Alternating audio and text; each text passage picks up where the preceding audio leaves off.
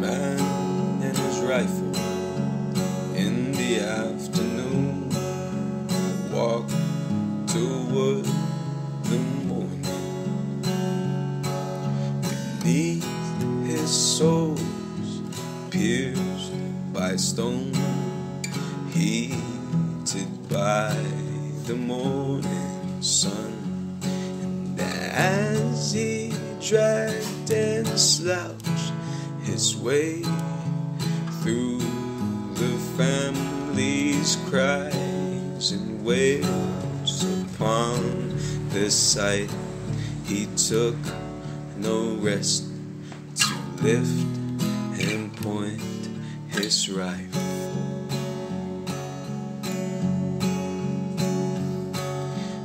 mother cried and begged for time for her son just might be lost.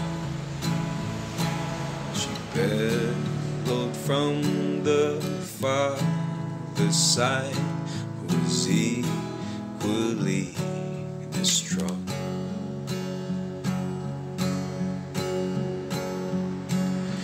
With the sudden silent pause, the shooter took his aim. Cause his deep pale eyes have said it all.